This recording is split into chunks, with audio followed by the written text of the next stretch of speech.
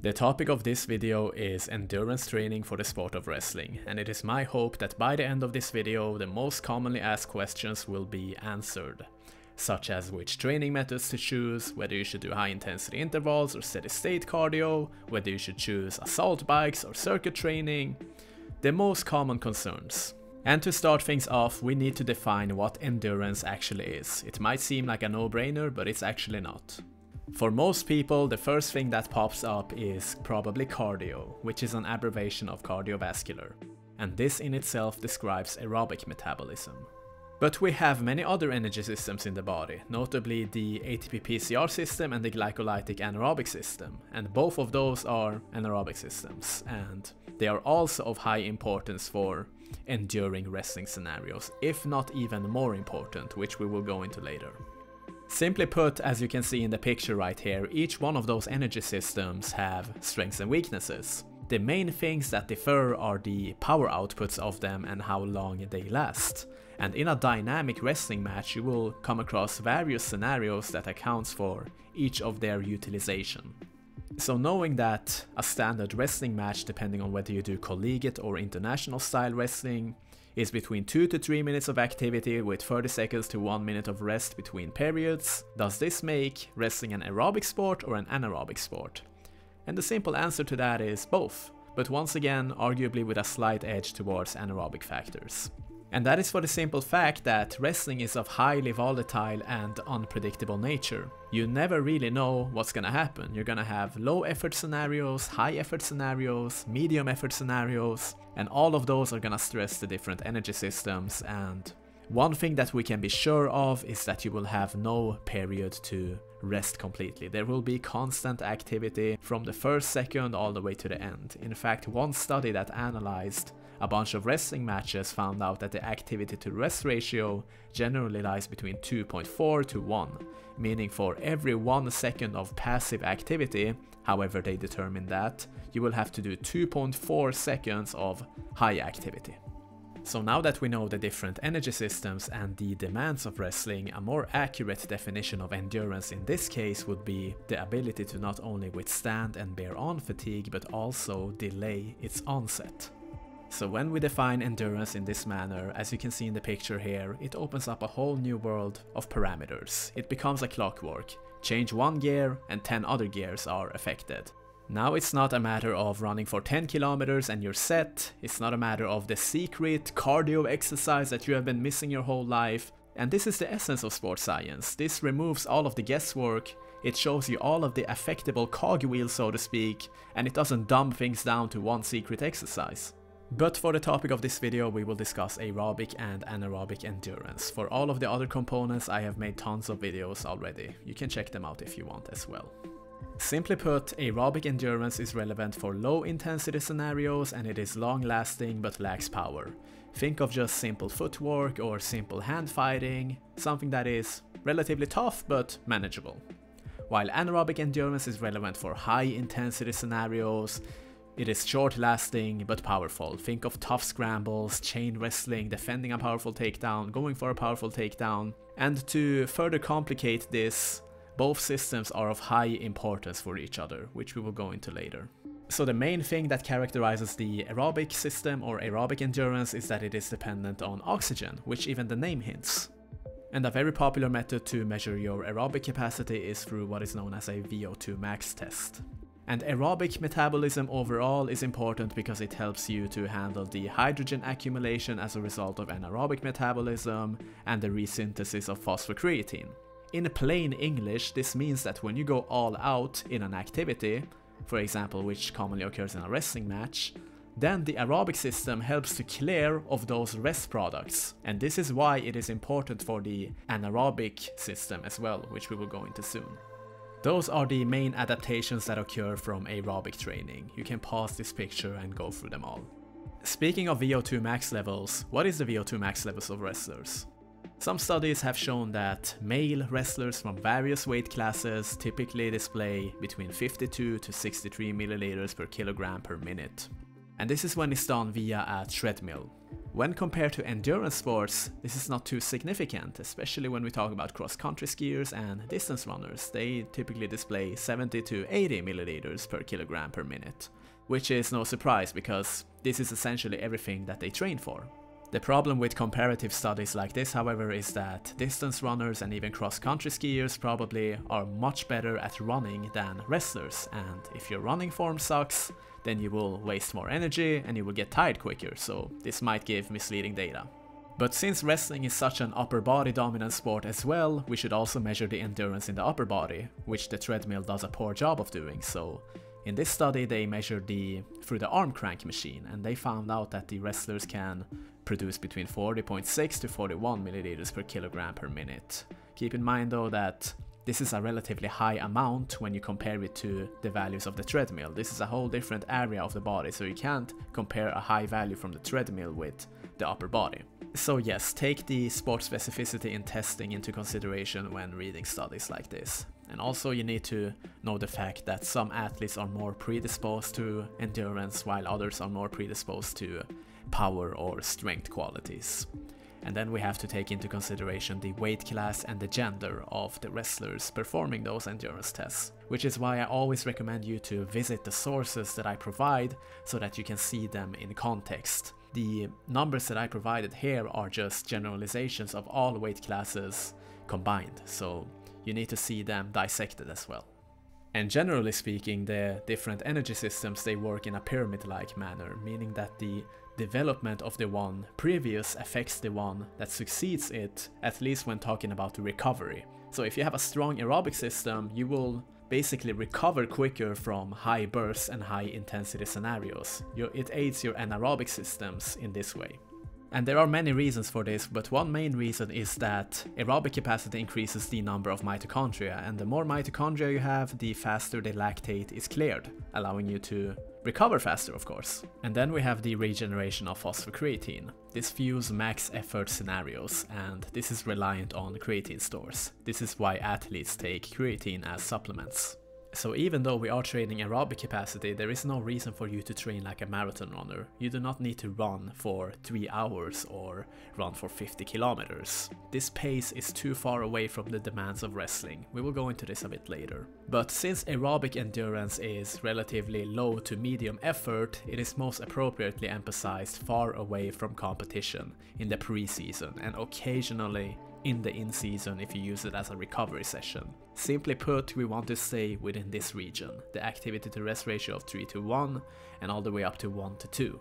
Now let's discuss anaerobic endurance and arguably this is more important than the aerobic endurance, and we will soon understand potentially why. First of all, it is not dependent on oxygen, because this is predominantly active when the intensity gets too high for the aerobic system to be predominant, which is almost the entire wrestling match basically. Peak and mean anaerobic power is usually measured with a Wingate test, which is basically max out efforts on this bicycle machine. And the byproduct of this system is lactate, which additionally releases those hydrogen ions into the bloodstream, and this explains this sour and awkward feeling you get from going all out in something. And when we analyze lactate elevations from wrestling matches, it varies between 15 up to 20 millimoles per liter and this is a very significant level that is often unmatched in many other sports. In fact, most people will never even experience 15 during a lifetime, let alone 20. In normal resting scenarios it is between 1 to 2, just to give you a comparison. This data that we are about to go through now is based on a meta-analysis which went through 150 research papers done on wrestlers. And here they characterize anaerobic endurance as strength endurance, but yeah, they found out that elite male wrestlers through various weight classes can perform 54 to 70 push-ups, 52 to 77 sit-ups and 15 to 50 pull-ups per minute. Regarding the pull-ups for example, I don't care if it's partial repetitions or if it is kipping pull-ups, the strictness of them. 50 pull-ups? Anywhere like this is an extremely impressive number. And this might be regarded as common sense, but they also found out that there is a relationship between the success of the wrestler and the strength endurance that they can display, meaning that successful wrestlers were superior in this department, which is probably obvious why. And you can read the meta-analysis yourself, we're not talking about one wrestler, a lot of them were close to this number. This is very impressive. And here are the mean power and the peak power results standardized for body weight from various wrestlers of various levels and weight classes. If you ever do a Wingate test, you can perhaps compare your results to this. Nevertheless, it's not like super important for you to know all of those terms, it's just a curious fact.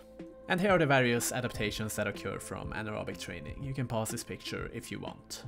And this obviously begs the question, what determines the shift from aerobic to anaerobic? When do we know when the aerobic system has had enough and the anaerobic system kicks in? Well, this is different for everyone. This is known as the lactate threshold, and as you can see in the graph here, when the line becomes steep, this is when we know the body shifts over to anaerobic endurance. And the higher the fitness of the athlete, the more prolonged this shift will be the lactate threshold in other words. And this is obviously a very sought after trait and is one of the pieces of the puzzle of endurance development. And anaerobic endurance is so important. Why? Because wrestling matches are very intense and volatile and unpredictable.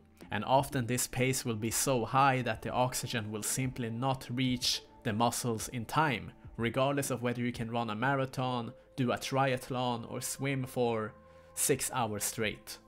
The pace is not similar to wrestling in those conditions. We need high intensity endurance. And to train high intensity endurance, to train the anaerobic system, anaerobic endurance, the efforts that you experience in those intervals must be submaximal to maximal for extended amounts of time. And you must rest adequately between those bursts so that you can repeat them in a relatively non-fatigue state. In essence, I recommend that you focus on high effort, quality that is, before quantity during the intervals, otherwise you will merely be, quote, exercising. Those intervals are supposed to be tough. And anaerobic endurance is most appropriately emphasized during the pre-season and in the early in-season. We will go into this more. Basically you want to stay within this region, an activity to rest ratio of 1 to 3 to 1 to 5. So what are the formats for endurance training? We can talk about this for days on end, but let's focus on the key ones, and those are steady state training, aerobic intervals, and high intensity intervals. They all have their pros and cons, and they are all appropriate for the right context. Let's go through them one by one. Let's begin with steady state training. This is probably the first thing that comes to mind when we even think of endurance, and it is the go-to of many recreational athletes. But sadly it is not regarded as a sport-specific method that is in line with the efforts experienced in wrestling. But it doesn't mean that you shouldn't do it, because once again in the off-season we want to build an aerobic tank, so if you insist, I would recommend you keep the duration between 20 to 30 minutes, focus on quality before quantity. You probably shouldn't do it for 3 hours straight, because once again, it's gonna deviate too far from the demands of wrestling, so focus on increasing your efforts within those 20 to 30 minutes instead. Doing 30 minutes all out effort is sometimes much harder than just doing 60 minutes medium effort. And again, this is most appropriately done in the off season, far away from competitions. And the training method when it comes to steady state, it doesn't really matter that much. I would just recommend choosing a format that you are enthusiastic about, whether that is the assault bike, running, or even circuit training. Now let's go for our second method for aerobic training, and that is aerobic intervals, arguably more favorable than steady state cardio.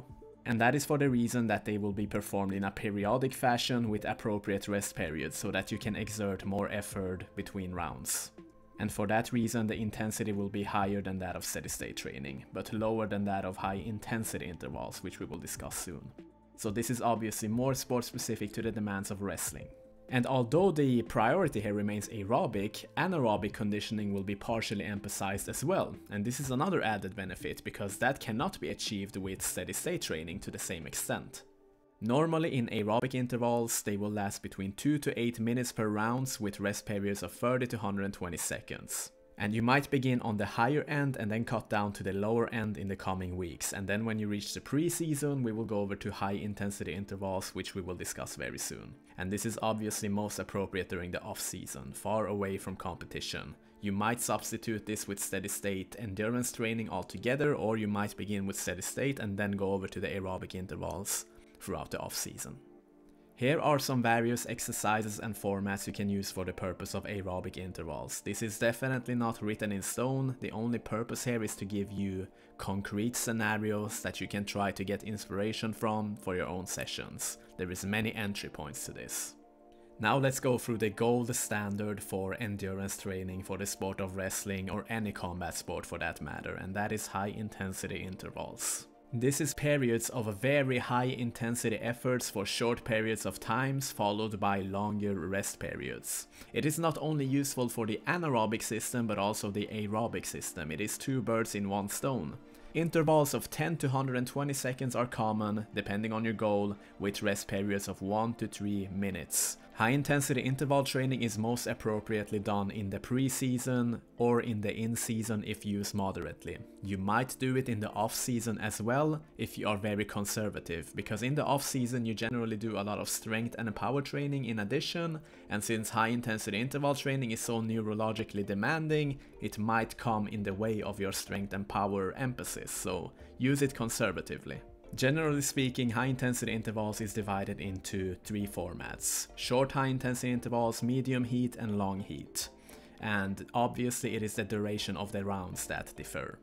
So, my recommendation for you is that you begin in the first cycle of the preseason with long HIIT and then you shift over to medium and end with short HIIT. Short HIITs will be very very demanding on a neurological level because you have to put your absolute fullest effort into those 10 to 20 to 30 seconds, whatever it is that you do, so that you train your brain to recruit motor units and produce some sort of a power endurance. So in essence, the effort you put forth in a 120 second round is astronomically different from the effort in a 20 second round. The shorter the round is, the more it accounts for effort that you put forth. Use that as a rule of thumb. Now we have gone through the energy systems, the training formats, the time and activity rest ratios and all of that. Let's go through some methods for endurance training. Should we use machines? Should we run? Should we use circuit training? That's what we're gonna answer now.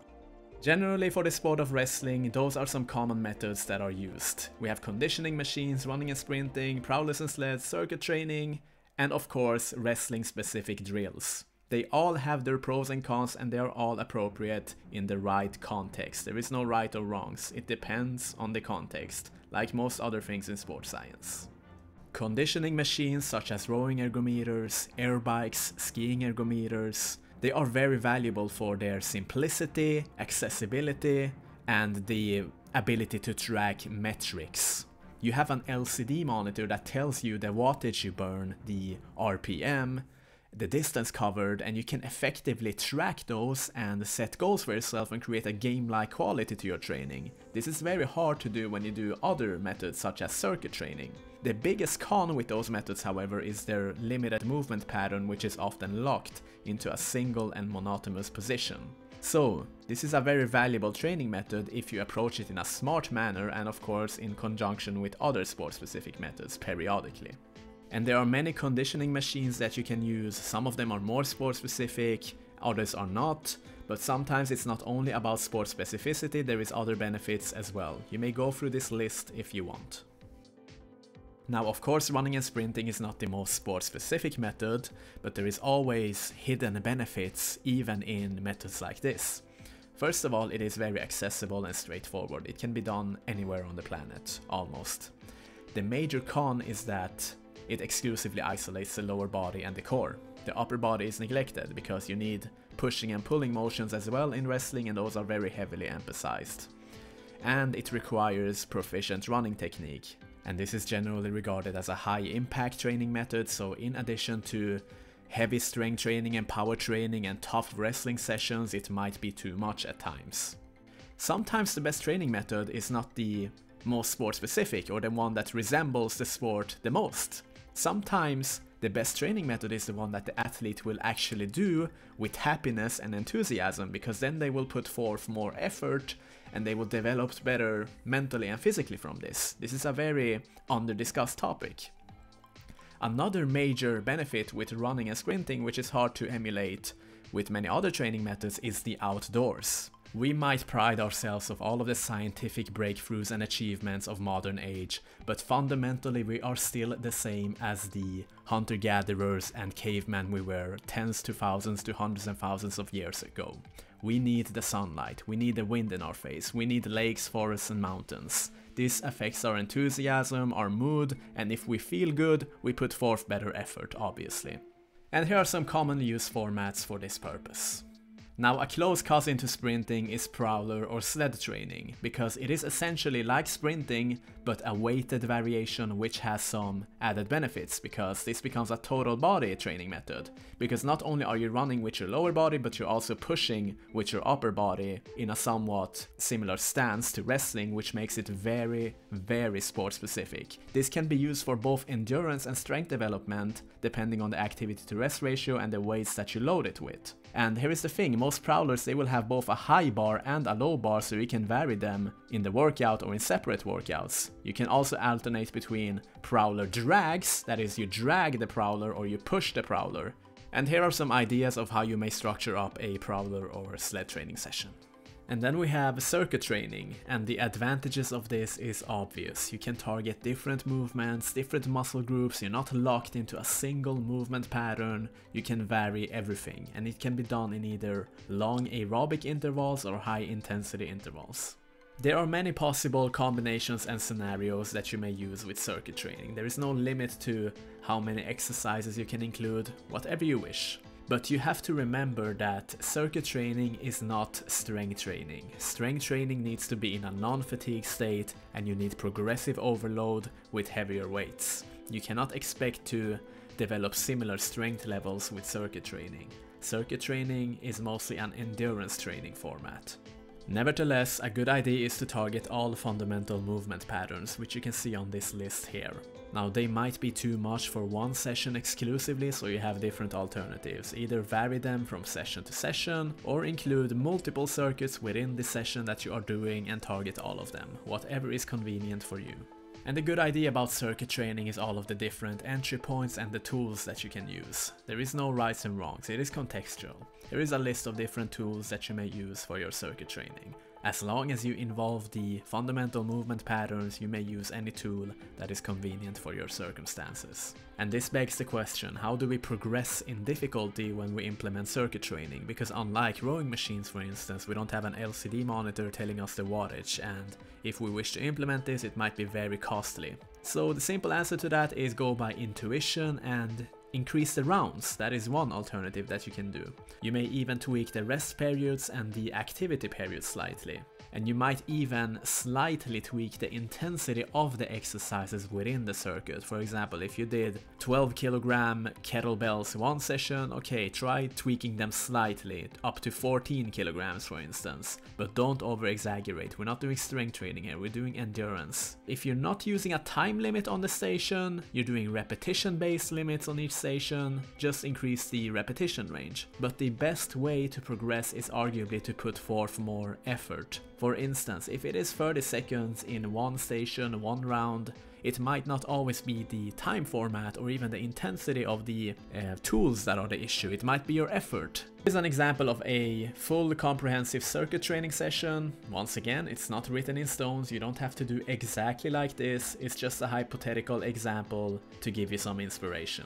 And our last component here is wrestling specific training, which is an excellent alternative for psychological preparation before a match. So you can use this method to isolate weak links. For example, let's say you cannot defend single leg takedowns appropriately. Then you train with a partner that enters in a single leg takedown and you begin from there and you go at high intensity rounds. You begin in a disadvantaged position and work. There is millions of approaches to this. Another typical method is the popular Shark Tank conditioning or the man in the middle, where you stand in the middle and you partners take turns on you and you have to defend yourself. Or you can do combine conditioning drills with wrestling, for example all out on the assault bike and then immediately go and wrestle with a partner. The con with this training method is that it is obviously very psychologically and physically demanding and it cannot be done too often, it might be too overwhelming. Here is a list of training methods that falls under this category. And then of course we have the metrics, the data. a system to measure our effort, a system to set new goals and track our progress, which is a vital point in even endurance. There are three key ways to do this. Number one is heart rate, and then we have Borg's RPE scale and power production. Let's begin by going through heart rate. This is an objective measure. If you do an assault bike round of 5 minutes, then heart rate of 180 is 180, regardless of how you felt about it. There are advanced methods to find out your heart rate in an accurate manner, but a simplified method is to take 220 minus your age. Now with our heart rate in mind, we can divide the effort into different intensity zones, with 5 being the toughest and 1 being of moderate or low intensity. And it also gives us certain hints to what energy system is predominant. Knowing that in zone 5, close to 90 to 100% of our heart rate, it probably becomes anaerobic because the intensity and effort gets too high for the aerobic system to be predominant. This table right here is severely generalized, it does not apply equally to everyone. Heart rate is good because it puts the exercise into context. For example, let's say you perform the assault bike on 5 minutes per round and before, this would cost 80% of your maximal heart rate. But now the average is 75% of your maximal heart rate, let's say one week later. This hints that your fitness has increased obviously, you're now more fit and efficient. Now primarily heart rate is mostly relevant to aerobic exercise because when you get to anaerobic conditions, it's gonna be maximal intensity and max heart rate by default because it's so tough. For this sole reason, it also gives us hints when we have reached the anaerobic threshold. So when you reach the maximal levels of your heart rate, then you can know on a general basis that you have reached the anaerobic threshold as well. And then we have Borg's RPE scale, which is a subjective scale of 6 to 20 that you may then evaluate each of your efforts with. And each of those scores will give us hint of what energy system is predominant during the effort, so to speak, on each round of whatever training method that we are using. So one of the single greatest things you can do in your endurance is to combine RPE with heart rate, and this will give you a very accurate assessment.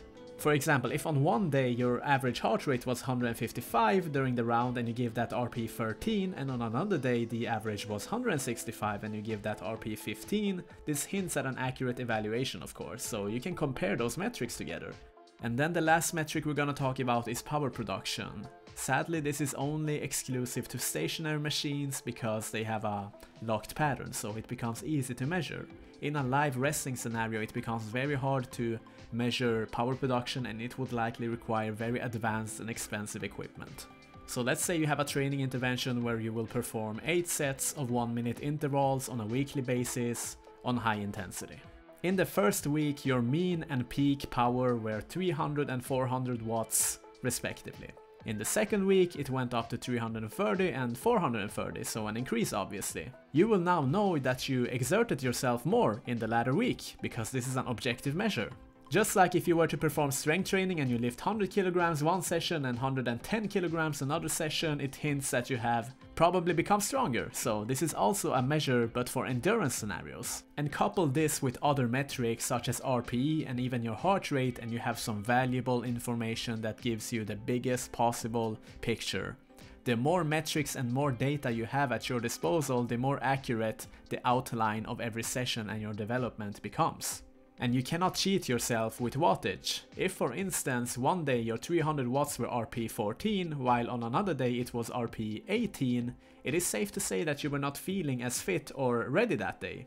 And some adjustments may be needed. This is the value of combining it with other metrics. Now let's talk about periodization. For most people when they see this word they become terrified. But you don't need to be terrified, it's actually very simple. So we have at our disposal all of those different components that we need to emphasize. Everything we have gone through in this video, all of the options. Periodization basically takes all of those and divides them into manageable tasks, into blocks in a periodic fashion. That's it. It's basically planning. You take the grand objective and you divide it into manageable tasks. But what might not be as simple is to actually define the grand objective. What is the grand objective? There is no simple answer for this, you need to assess your situation. It's different for every individual. Take a notepad and a pencil and go through some vital questions for yourself so that you can have an outline of your objective to begin with before you even start periodization. How are you supposed to plan if you don't have the parameters at hand? With that being said, here is an example schedule of a competitive wrestler. Let's say they do two strength and power sessions per week, and we have six wrestling sessions and two endurance sessions. Again, this is just an hypothetical example. You might do more sessions or less than that. So considering that you have an off season up to 4 months, which again varies between different wrestling cultures, you might do the first half steady state aerobic training and the other half aerobic intervals.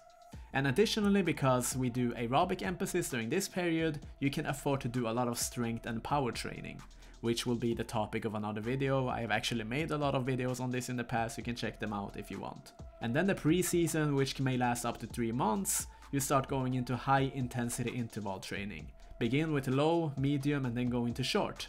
And then in the in-season, which might last for up to half a year, you want to maintain all of those qualities. You will have a lot of tough wrestling practices here, you will cut weight, you will have a lot of matches, so it's really hard to know how many additional high intensity interval sessions you can do on top of that, how much strength and power you can do on top of that. I'm not saying you should disregard it completely, I'm just saying cut down on the frequency because you want to maintain them now.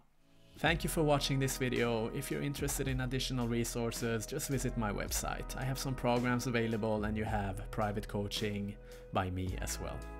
And if you wanna stick to the free videos, that is perfectly fine also. I will never deliberately withhold any information.